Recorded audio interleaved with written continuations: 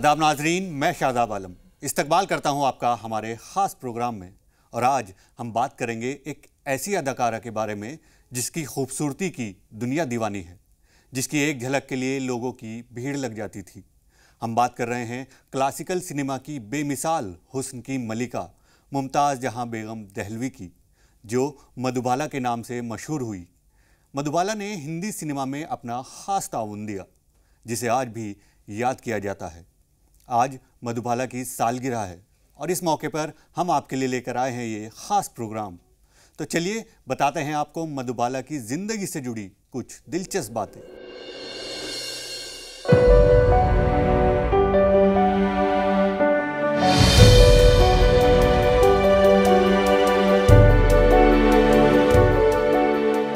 Hindi cinema का एक ऐसा नाम, जिसकी बला की खूबसूरती और अदाओं की दुनिया दीवानी है।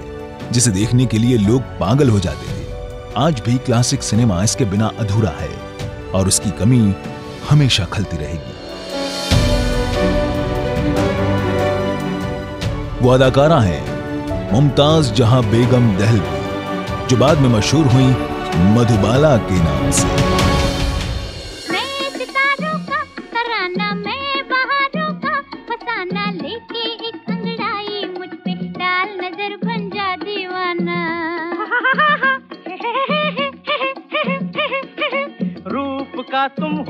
खजाना, तुम हो मेरी जान ये माना, लेकिन पहले दे दो मेरा पाँच रुपया बारह आना।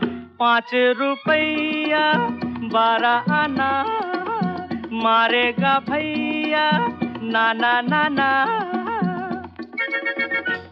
क्लासिक दौर की इस खूबसूरत अदाकारा ने 1940 से 1960 के दहाई तक सिनेमा में अपना खास ताउन दिया। अपने काबिल तारीफ़ किरदार से महल, अमर, मिस्टर एंड मिसेस 55 बरसात की रात और मुगल आज़म जैसी फ़िल्मों से शोहरत हासिल की।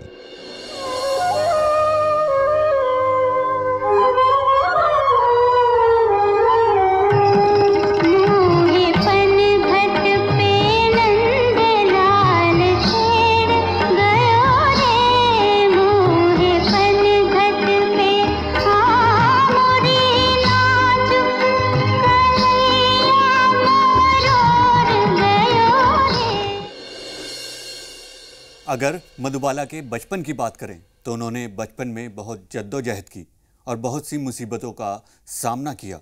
आखिर कैसे मुमताज़ बनी मधुबाला और कैसा रहा उनका फिल्मी सफ़र, आइए देखते हैं।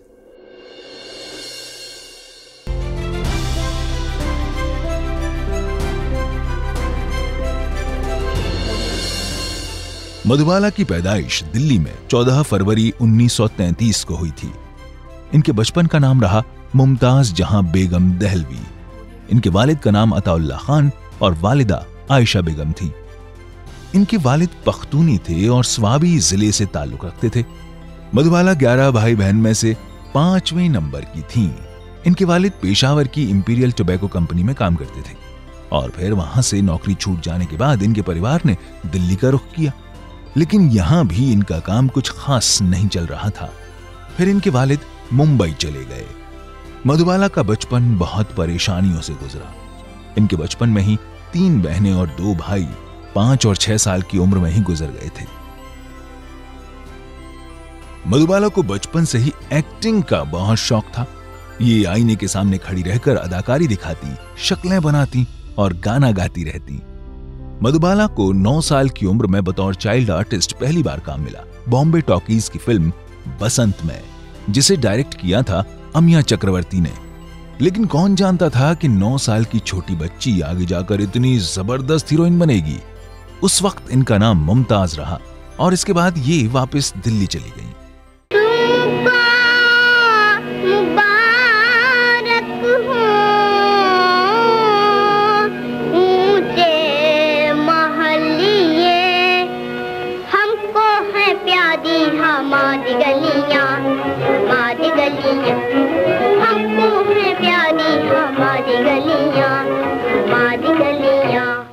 फ़िल्म बसंत के अलावा भी बतौर चाइल्ड आर्टिस्ट इन्होंने कई फ़िल्मों में काम किया, जिनमें मुमताज़ महल, धन्ना भगत, पुजारी, फुलवारी और राजपूतानी जैसी फ़िल्में शामिल हैं। लेकिन फिर भी इनके घर से मुफलिसी दूर नहीं हो रही थी।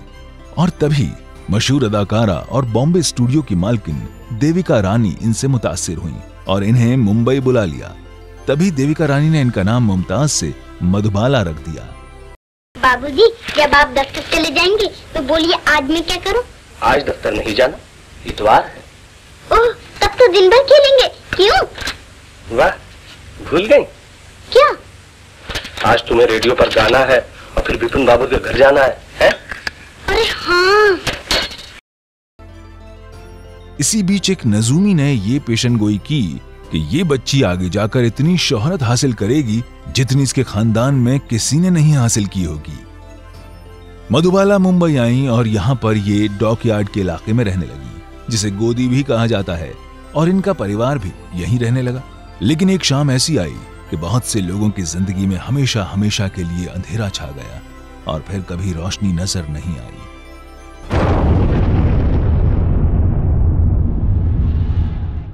14 अप्रैल 1944 को शाम के लगभग चार बजकर पंद्रह मिनट पर एक जोरदार धमाका हुआ, जिससे सारी बस्ती जलकर खाक हो गई।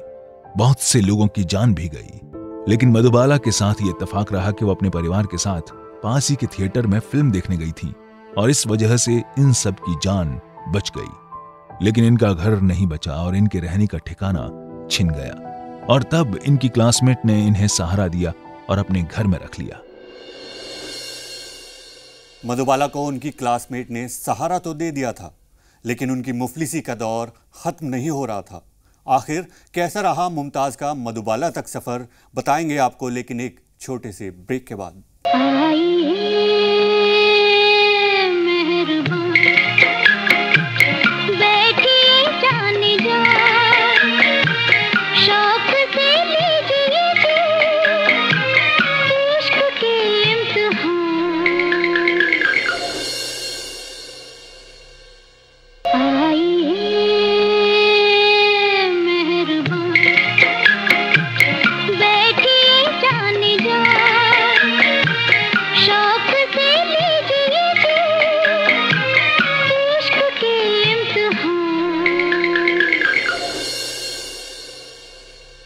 ब्रेक के बाद आपका इस्तकबाल है हमारे ख़ास प्रोग्राम में। और आज हम बात कर रहे हैं हुस्न की मलिका मधुबाला की। मधुबाला को एज ए चाइल्ड आर्टिस्ट काम तो मिल रहा था, लेकिन इससे उनके घर के हालात नहीं सुधर रहे थे। और फिर उन्हें मौका मिला फ़िल्म नील कमल में। महज चौदह साल की उम्र में मधुबाला बतौर हीरोइन नज़र आई। आइए बताते हैं आपको मधुबाला ने बतौर हीरोइन फ़िल्म इंडस्ट्री में क्या कमाल किया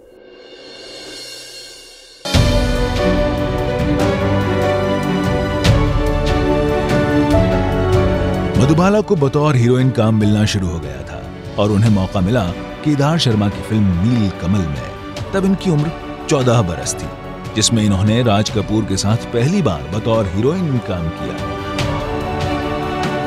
इसके बाद तो मधुबाला को एक के बाद एक फ़िल्मों में काम मिलने लगा। 1947 में इनकी बहुत सी फ़िल्में रिलीज़ हुई, जिनमें मेरे भगवान, खूबसूरत दुनिया और दिल की रानी फ़िल्में शामिल हैं। फिर उन्नीस सौ उनचास में फ़िल्म आई महल, जिसे डायरेक्ट किया था कमाल अमरोही ने। और इस फ़िल्म में बतौर हीरो अशोक कुमार और हीरोइन मधुबाला। और इस फ़िल्म ने मधुबाला को एक अलग मुकाम दिया। यह फ़िल्म बहुत बड़ी हिट साबित हुई। हालाँकि इस फ़िल्म में सुरैया बतौर अदाकारा काम करने वाली थी, लेकिन फिर कमाल अमरोही ने मधुबाला को मौका दिया। अगर इस फ़िल्म के म्यूज़िक की बात करें तो इस फ़िल्म का गाना आएगा आने वाला, जिसका म्यूज़िक दिया था खेमचंद प्रकाश ने, बहुत ही हिट रहा और आज भी इस गाने को बहुत पसंद किया जाता है।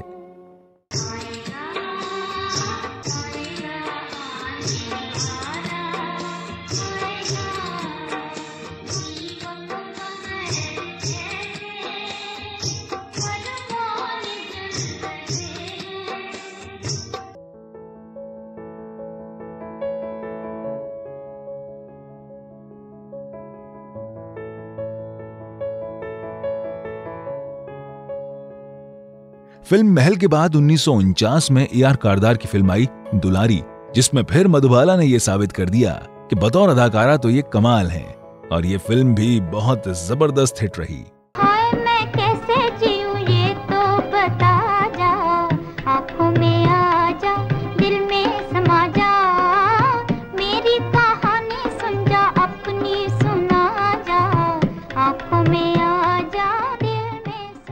फिर तो मधुबाला ने पीछे मुड़कर नहीं देखा और एक से बढ़कर एक फ़िल्मों में काम किया जिनमें बेकसूर तराना बादल इन सभी फ़िल्मों में इन्होंने कमाल की अदाकारी की। कि तुम्हें मुझसे मोहब्बत नहीं? मोहब्बत? तुमसे मोहब्बत तो मुझे पहली नज़र में हो गई थी प्रेम बाबू। मगर मगर क्या? बात अधूरी क्यों छोड़ दी? आखिर किस चीज़ का डर है तुम्हें? मैं मजबूर हूँ। तुम मुझे अपनी मजबूरियाँ बताओ।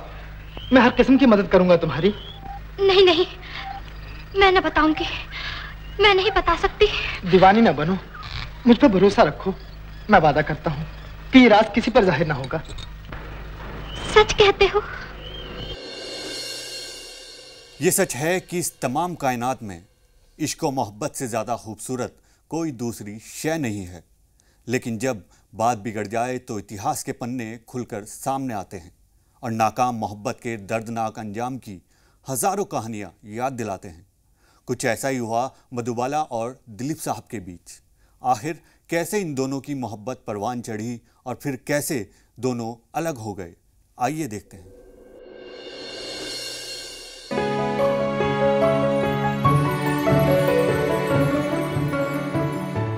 1944 में दिलीप कुमार की पहली फ़िल्म आई ज्वार भाटा। लेकिन ये ज्वार भाटा मधुबाला की ज़िंदगी में एक तूफ़ान लेकर आया। इस फ़िल्म के दौरान मधुबाला की मुलाकात हुई दिलीप कुमार से और ये मुलाकात धीरे धीरे मोहब्बत में बदलने लगी। मधुबाला और दिलीप साहब का इश्क उस दौर की सबसे बड़ी हॉट स्टोरी बन चुका था।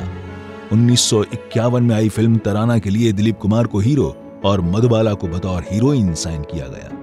बस वहीं से शुरू हुई दोनों के दरमिया इश्क की दास्तान। लेकिन मधुबाला के वालिद साहब अताउल्ला खां की सख्त मिजाजी ने इस मोहब्बत को कबूल नहीं किया। दरअसल 1956 में डायरेक्टर बी आर चोपड़ा ने अपनी फ़िल्म नया दौर के लिए दिलीप कुमार के साथ मधुबाला को कास्ट किया था। फ़िल्म का कुछ हिस्सा चंबल की खतरनाक घाटियों में फिल्माया जाना था, लेकिन मधुबाला के वालिद साहब ने उन्हें वहाँ जाने से मना कर दिया, जिसके बाद बी आर चोपड़ा ने अदालत में केस कर दिया। मधुबाला चाहती थी कि दिलीप कुमार कोर्ट में गवाही न दें, लेकिन दिलीप कुमार को लगा कि मैं सच्चाई के साथ हूँ और अदालत के सामने मधुबाला से प्यार का इजहार करते हुए दिलीप कुमार ने कहा कि हाँ मैं मधु से प्यार करता हूँ और उसे हमेशा करता रहूँगा। और अदालत की खामोशी में गूंजे दिलीप कुमार के इकरार के लफ्जों ने मधुबाला की रातों की नींद छीन ली थी। मैं जितना उसे भुलाना चाहता हूँ, उतना ही वो मुझे याद आता है। मैं जितना उससे भागना चाहता हूँ उतना ही वो मेरे सामने आता है तुम्हारी खामोशी से मेरा दम घुट जाएगा अंजू मैं मैं मैं तुम्हारी मुस्कुराहट के लिए अपनी जान भी देती। मेरी मुस्कुराहटें मुझसे छिन गई हैं मेरे सामने खड़ी हो लेकिन मुझे ऐसे मालूम होता है जैसे मुझसे हज़ारों मील दूर हो। नहीं अमर मैं तुम्हारे पास हूँ तुम्हारे दुख तुम्हारी तकलीफें सब मेरी तुम मेरे हो, मैं तो बस इतना ही उन्होंने मधुबाला से कहा था कि शादी के लिए अपने वालिद से सारे रिश्ते तोड़ने होंगे, जिससे मधुबाला ने इनकार कर दिया। फ़िल्म नया दौर से मधुबाला बाहर हुई और वैजंती माला को इस फ़िल्म में काम मिला। इसके बाद फ़िल्म मुगल आज़म की शूटिंग में दोनों साथ ही काम करते रहे और इस फ़िल्म के एक सीन में सलीम अनारकली को गुस्से में थप्पड़ मारता है। इस सीन में दिलीप कुमार ने मधुबाला को बहुत ज़ोर से तमाचा मारा था। जिससे सेट के तमाम लोग सकते में आ गए थे और मधुबाला अचानक खामोश हो गई थी। और ये मोहब्बत भी यहीं खामोश हो गई।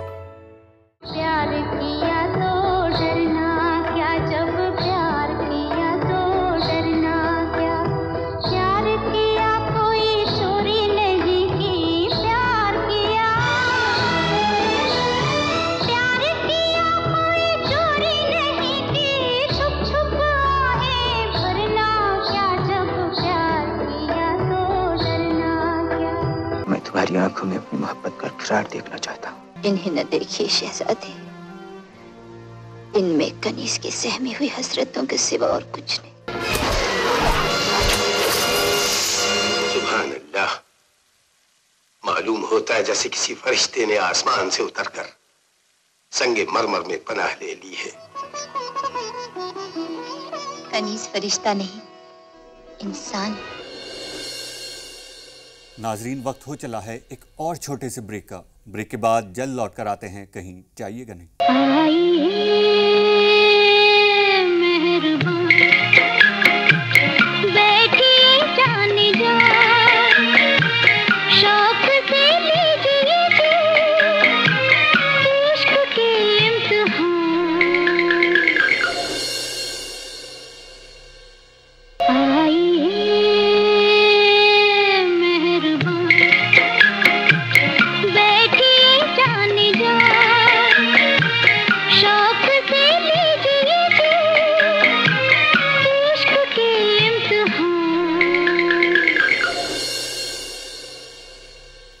बाद एक बार फिर आपका इस्तकबाल है हमारे ख़ास प्रोग्राम में।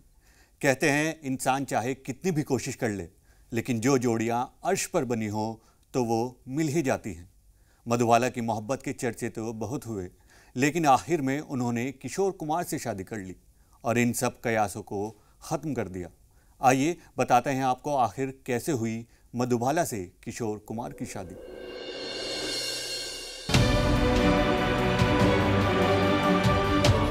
कहते हैं जोड़ियाँ अर्श से ही बनकर आती हैं और मधुबाला की ज़िंदगी में जो हुआ, वो शायद इसी बात का सबूत है।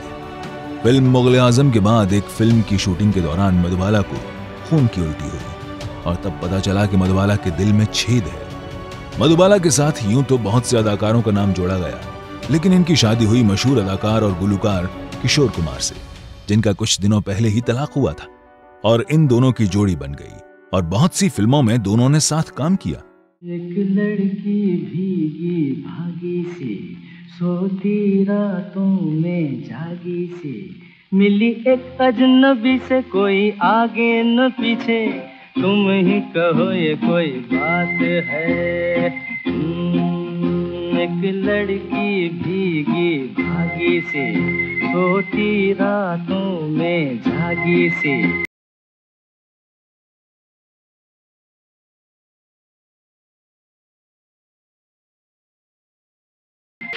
कैसा है जनाब का?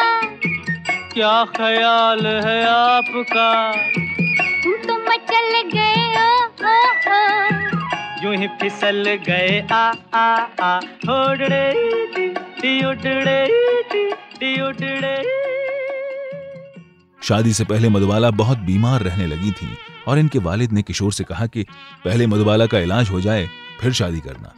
लेकिन किशोर ने कहा कि पहले शादी करूँगा, फिर इलाज के लिए लंदन ले जाऊँगा शादी के बाद किशोर मधुबाला को लंदन ले गए कुछ दिन लंदन में रहने के बाद मधुबाला की तबीयत में कुछ सुधार आया और वो फिर मुंबई वापस आ गईं। वापस आने के बाद मधुबाला ने सोचा कि फिर से फ़िल्मों में काम करेंगी फ़िल्म चालाक के लिए इन्होंने राज कपूर साहब से बात भी की और शूटिंग शुरू हो गई लेकिन शूटिंग के पहले ही दिन मधुबाला की तबीयत खराब हो गई और वो बेहोश होकर सेट पर ही गिर गईं। और इसके बाद बला की खूबसूरत अदाकारा, जिसकी अदाओं का हर कोई दीवाना है, वो फिर कभी उठ नहीं सकी। और 23 फरवरी उन्नीस सौ उनहत्तर को क्लासिक सिनेमा की खुश मिजाज अदाकारा, जिसने अपनी हँसी के फूल चारों ओर बिखेर कर समा बांधा, वो मधुबाला सिर्फ़ 36 साल की उम्र में हमें छोड़कर चली गई। न शिकवा है कोई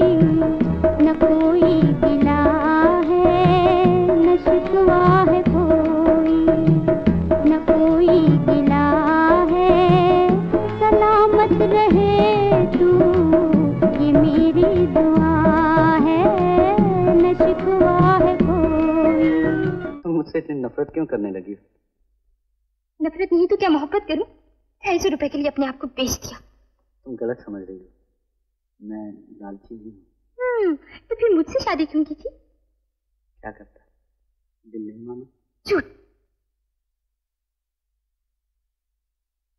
तुम मुझे अच्छी लगती हो अनीता। इतनी ही चापलूसी करो। तनख्वाह ढाई सौ ही रहेगी। एक दमड़ी भी नहीं बढ़ेगी। मेहरबान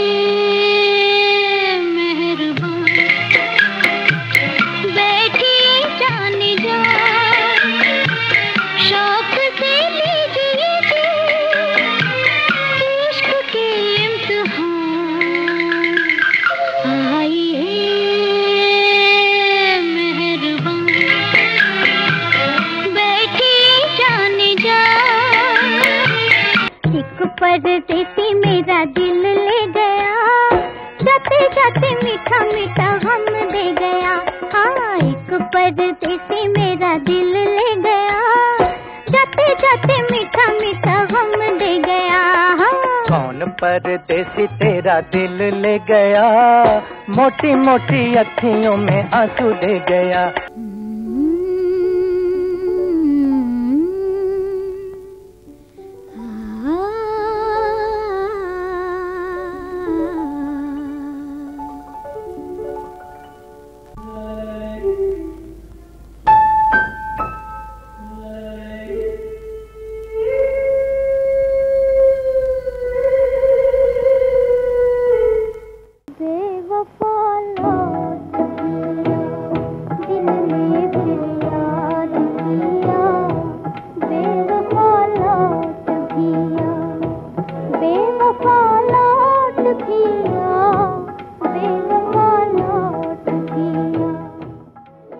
हिंदी सिनेमा के इतिहास में मधुबाला जैसी अदाकारा का दोबारा आना नामुमकिन है।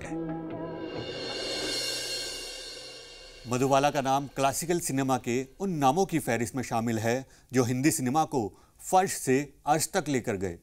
मधुबाला फ़िल्म मुगल आज़म में अनारकली का किरदार निभाकर लोगों के जहन में अनारकली के नाम से ही बस गई। मधुबाला को उनकी अदाकारी के साथ उनकी खूबसूरती के लिए भी हमेशा याद किया जाएगा। मधुबाला को वीनस ऑफ़ इंडियन सिनेमा और द ब्यूटी ऑफ़ ट्रेजडी जैसे नाम से भी जाना जाता है। आज मधुबाला हमारे बीच नहीं रही, लेकिन हमेशा हमारी यादों में वो ज़िंदा रहेंगी। आज मधुबाला की सालगिरह के मौके पर हम उन्हें खिराज अकीदत पेश करते हैं।